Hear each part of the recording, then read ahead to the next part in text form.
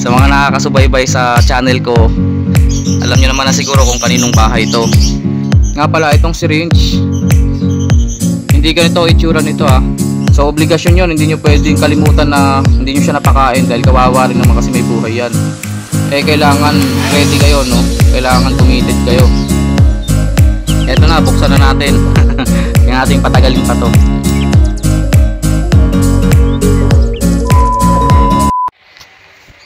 Magandang umaga mga kaibon, mga idolo. Welcome sa panibago nating vlog. Oh, siguro naman alam nyo na to. sa mga nakakasubaybay sa channel ko, alam nyo naman na siguro kung kaninong bahay to. So, bali ngayon i-update natin siya. Ayan, kitang-kita nyo naman yung design na nilagay natin, yung sticker ni Sir June, taong pusa. Shoutout sa'yo Sir June. bali ganito ah, yung mga subscriber ni Sir June, taong pusa. Request ko lang sa inyo, ako naman ang suportahan nyo.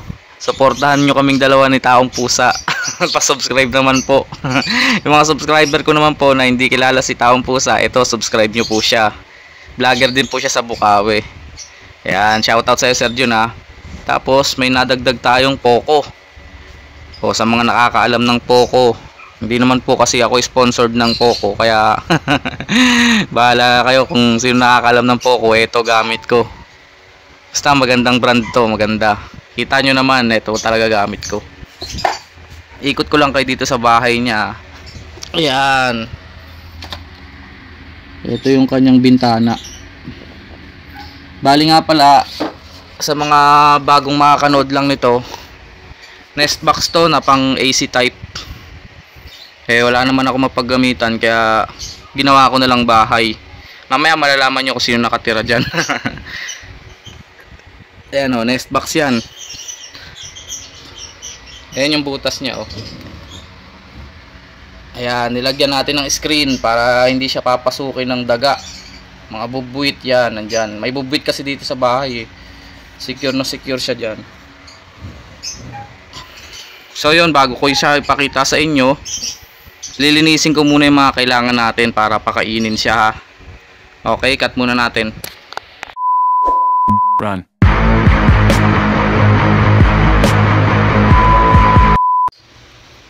Eto, linis na yung mga kailangan natin gamitin. Ayan, nakita nyo na, no? may idea na kayo kasi eto na, nakita nyo na yung syringe.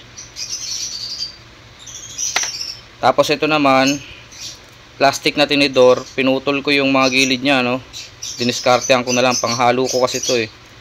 Ayan o, ganyan, panghalo sa formula. Tapos ito, yung sukatan ng gamot. Pagka may mga bata kayo sa bahay, yung mga syrup na gamot, di ba? Ito 'yon. Diyan ko nilalagay yung formula, hinahalo ko diyan. Sige ano na natin. Ah, pakita ko lang yung formula para. Ito nga pala yung formula ng gamit ko. Binili ko to kay Sir Khalid.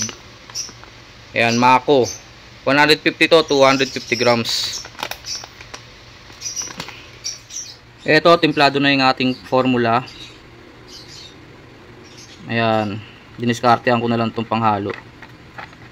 Hindi ko kayo mabibigyan ng saktong sukat ng tubig tsaka ng formula. Basta tansyahan na lang. Ako kasi tansyahan lang. Isa lang naman hand feed ko. Yung ganito karami, may natitira pa sa kanyang konti dito. Tapos yung texture ng formula. Ayan o, ganyan. Malabnaw. Ganyan lang siya. Ayan. Malabnaw kasi syempre, bata pa yun eh. Kailangan yung madali niyang tunawin. Balik na tayo dito. Ayan, nakaready na yung mga gagamitin natin for hand feed ah. Ito yung syringe. Ito na yung formula, timplado na siya. Ito ganito lang kalabnaw oh. Yan, ganyan. Nga pala, itong syringe, hindi ganito itsura nito ah. Hindi ganito kasi may harang yan dyan eh. Pakita ko sa inyo. Wait lang. Ito, ganito itsura. May nakaharang dyan oh. Kinater ko yan para maging ganito. Ito kasi sakto to sa bibig ng hand feed. Kung nakikita nyo ibang mga nag-hand feed, di ba, meron silang mga ginagamit na hose na maliit. Para yun yung ipapangsubo nila dun sa inakay. Ako naman, tinanong ko yan kay Sir Khalid. Sabi niya, okay na tong ganito, syringe lang. Ginagamit daw yung kapag maramihan yung mga hand feed nyo.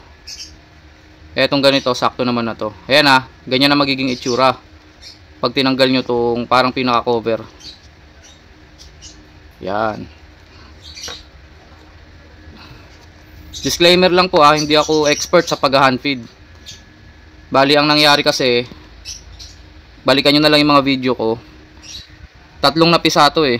Itong mga inakay na to, tatlo sila. Kaso yung dalawa namatay.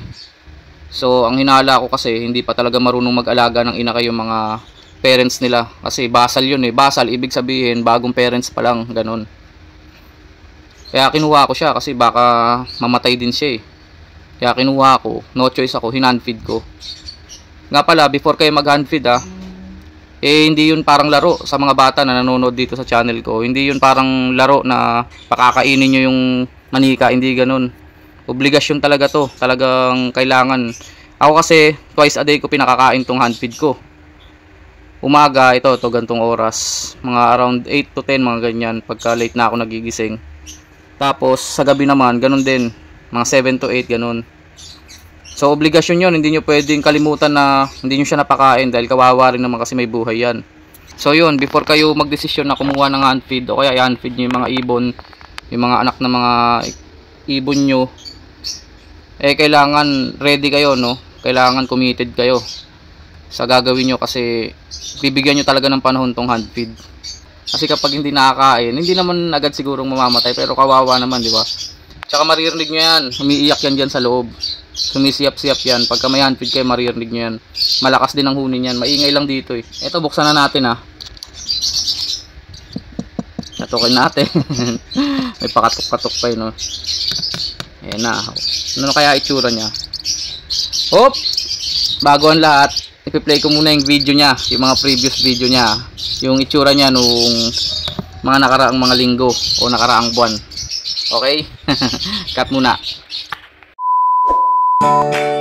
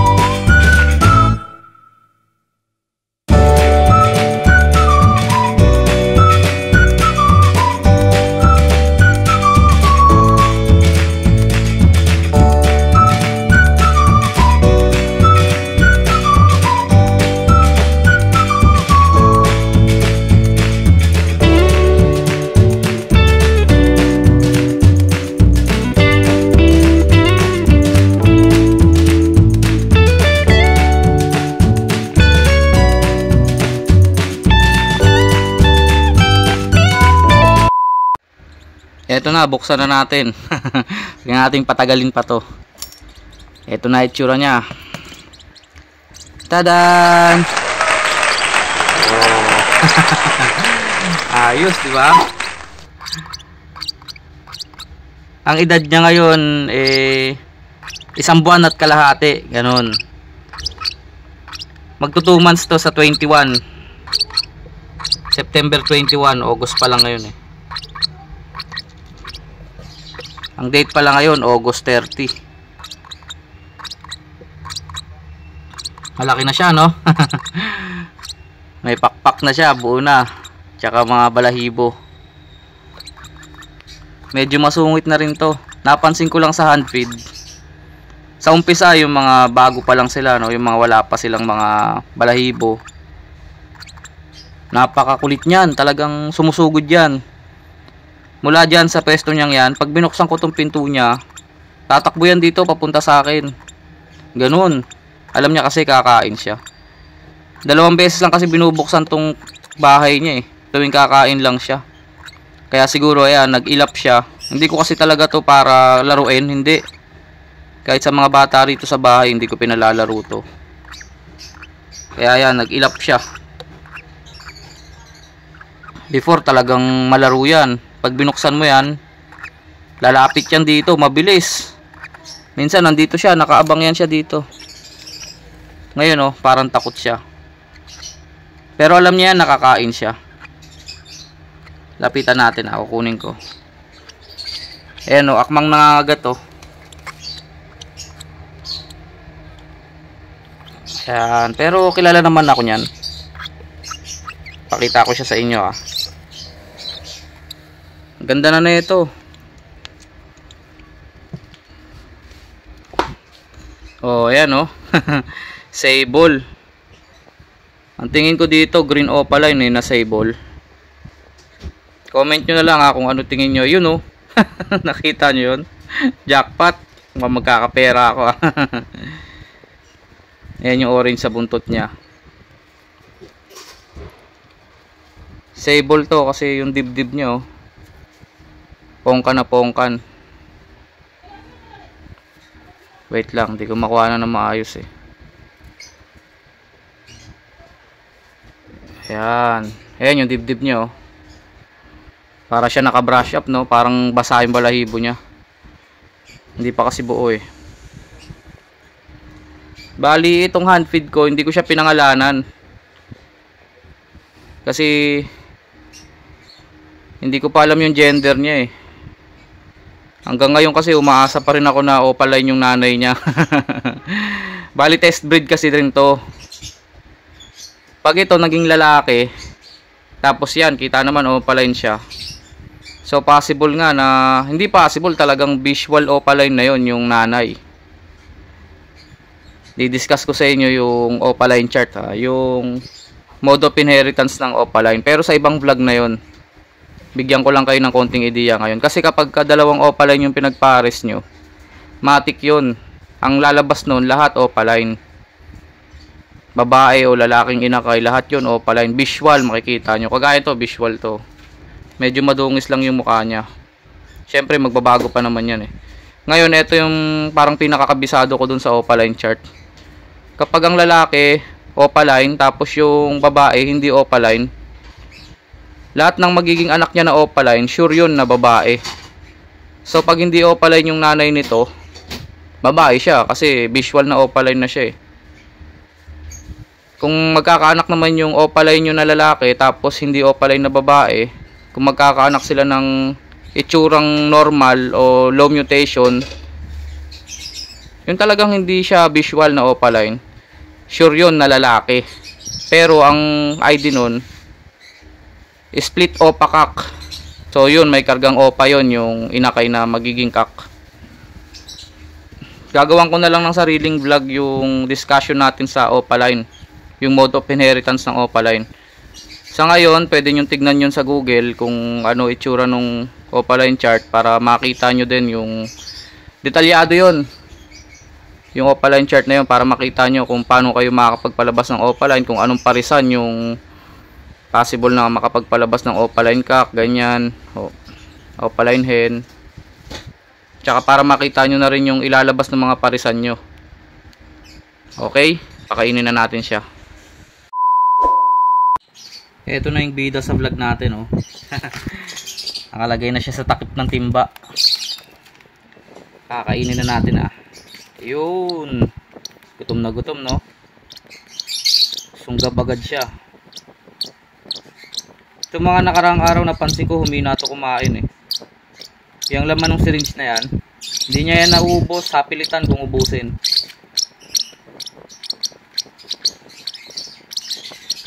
Bali ganyan lang no. Lagyan nyo lang ng konting puwersa yung syringe para mahina lang yung labas ng formula. Bali sa mga hindi nakakaalam no, etong inakay natin na to, itong inahandpit ko, anak to ng Project Lutino Opaline yung tatay nito renewing opaline na sure split ino bali nabili ko yon post split ino lang siya. Eh naglabas na siya ng red eye. Yung dalawang kapatid nito red eye. Kaso namatay. So possible nga yung tatay nila eh sure talaga na split ino tapos yung nanay naman nito Sable Lutino. Pero ang out sa akin ng seller kasi Lutino Opaline Kaya umaasa pa rin ako na Lutino Opaline siya. umaasa pa rin ako dun sa sinabi ng seller ha. May tiwala ako dun sa seller. Kasi sabi Lutino Opaline daw yun eh. Kaya ito test breed to. Bali hindi lang siya yung test breed eh. Kung sakaling magkakaroon pa ulit ng inakay yung dalawang yon Basta nagkaroon yun ng anak na opaline, matik yun. Pag lalaking opaline ang inanak nun, automatic yun. Lutino opaline nga yun. Ang kulit na nito. Oh. Uy, halika dito. Paano ka makakain?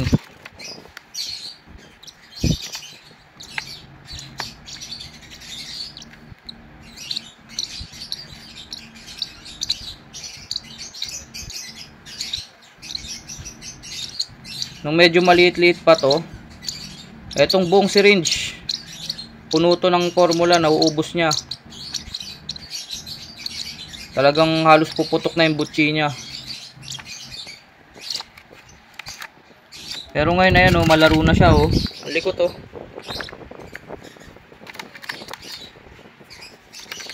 Oy, ano ba?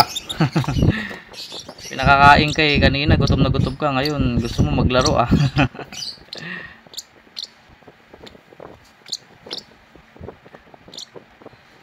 Ito gagawin nyo sa hand feed kaya bago kayo talaga kumuha ng hand feed o kaya mag-decide na mag hand feed. Isipin nyo muna kailangan prepared kayo. Kailangan ready kayo sa ganito. Kasi kakain talaga to ng oras nyo. Paghugas pa lang ng mga gamit. Tapos pagtimpla ng formula. Tapos yung actual na pagsubo sa inakay. Ang gulo naman na ito. Tapusin ko muna yung video. Ang gulo eh. Pakakainin ko ng maayos. Kawawa naman. Gutom to eh. Eto, medyo tatapusin na natin dito yung vlog. Hindi siya ganong kumain ng maayos oh. Ayan. Mga 2 days niya nang ginagawa yan. Pangatlong araw na ngayon. Humina talaga siyang kumain. Teka lang, ayusin ko lang siya. Nalimutan kong banggitin sa inyo yung ID niya. Bali, ang ID nito, isa siyang Sable Green Opaline na Sure Split Ino. Hindi lang ako sure sa gender kung babae o lalaki, no. Basta pinaliwanag ko na sa inyo kanina eh. Abangan nyo na lang yon yung gagawin nating vlog sa mode of inheritance ng Opaline. Sex link Opaline, mga ganun. Nalikot na talaga nito. Ang hirap niya ng pakainin talaga. Eh no, sayang yung formula. Bali tumawag kasi ako kay Sir Khalid, tinanong ko kung okay lang ba na ganyan yung kinakain niya. Sabi ni Sir sa akin, ano daw, ba, baka pwede na to bigyan ng seeds. Bibigyan ko siya ng seeds dun sa bahay niya. Titignan natin kung kakain siya ng seeds. Sana nga kumain na siya para hindi na ako mag-hand feed. malaking ginhawa yon kapag uh, kumain na to ng seeds. Nga pala discuss ko lang sa inyo no? Wednesday kasi ngayon. Hindi ko alam kung mapopost ko to ngayon o Webes ko na mapopost. Remind ko lang kayo ulit sa Bukawi Friday natin ha so yun nga yung mga magpapasabay. Before Friday dapat settled na tayo. Nakapag-usap na kayo dun sa mga kukunan nyo ng ibon para dire-diretso ko kukunin ko na lang tapos iuwi ko clear naman na siguro tayo doon no sa gagawin kong charge na 100 per head ng ibon. Puro positive naman yung mga nakita kong comment doon sa video. So yun na lang no. Bukawi Friday. Before mag Friday settled na. Na-settled na natin yung payment lahat. Tsaka ako na settled nyo na yung sa akin na usapan natin di ba? Tapos nga pala tama rin yung nag-comment sa akin. Hindi ko lang natandaan kung ano yung pangalan. On the spot kasi itong vlog na to. Make sure nyo no? Kailangan meron kayong picture nung ibon na ibibigay sa inyo ng seller. Kahit picture na lang o kaya leg band. Hanapan nyo ng leg band. Yung mga singseng yung mga number letters dun sa singsing na ibibigay sa inyo ng seller. Kung sakaling may singsing yung ibon ha? Kung wala naman kahit picture lang hindi naman siguro ganun karami yung magpapasabay sa akin For ano lang naman yon for safety reasons lang yon Okay? So ito na no, pagmasdan nyo na yung mukha ng handfeed ko. Sable Green, Opaline, Street Ino. Okay, maraming maraming salamat ulit sa inyo mga kaibon, mga idolo. Cut.